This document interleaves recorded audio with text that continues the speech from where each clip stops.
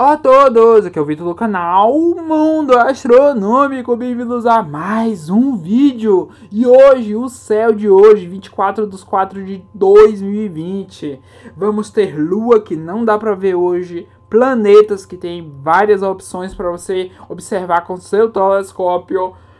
Também vamos falar sobre chuva de meteoros. Ontem foi o pico da chuva da constelação de Popa e no final, uma pergunta, um questionamento para você aprender cada vez mais astronomia. Então já deixa seu gostei, se inscreva no canal, clique no sininho para receber todas as notificações e bora pro vídeo. Vídeo todo dia às 13 horas. Ontem tivemos o pico da constelação de, da, da chuva de meteoros Pipúpides da constelação de Poupa tivemos o pico que acontece a cada cerca de 5 anos. Ontem foi o pico e esse o cometa que originou essa chuva de meteoros foi o 26P Grigot. Depois é, que ainda no pico que vai ser 5 e 6 de maio vai ter o Eta Quaridias, que não é o de hoje. É, esse daqui é do cometa 1P Halley, que é o famoso cometa Halley, que é bem famosa essa chuva de meteoros. Planetas, hoje temos Vênus cada vez menos iluminado, 30,2% às 18h30. Logo em seguida, quase umas 11 horas da noite, parece Júpiter com um satélite galiano em cima e dois embaixo. Eu não identifiquei o quarto. E logo após, tem Saturno às 11h18 da noite. E se você quiser esperar um pouco mais para observar Marte, é lá para meia-noite e meia mais ou menos. Lua está muito perto do Sol, então não dá para observar. Só aparece quase 8 horas. É, já, é, esse horário já está um pouco mais elevado, com cerca de 5,5% iluminado e está muito perto do Sol. Não dá para observar. Até nos próximos vídeos eu vou tirar esse, esse horário, porque não dá, não dá.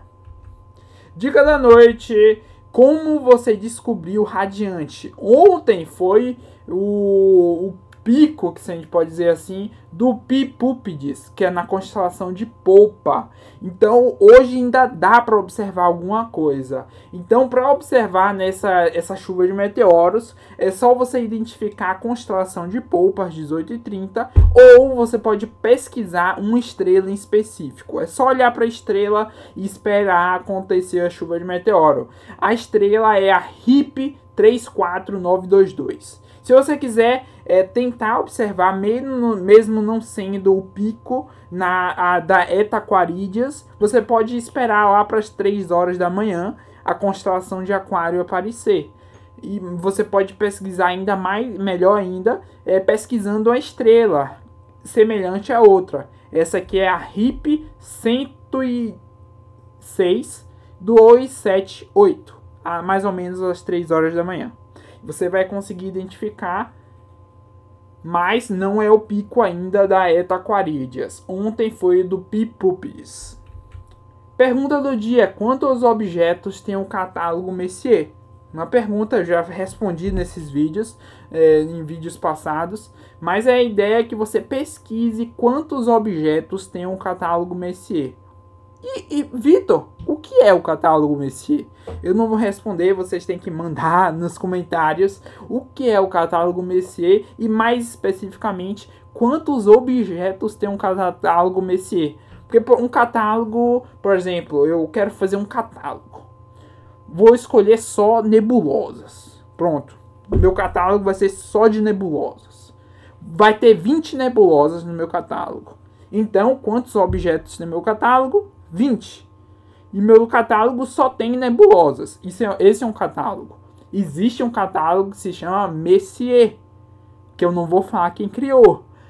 E a ideia é essa, você aprender cada vez mais e mandem nos comentários quantos objetos tem um catálogo Messier.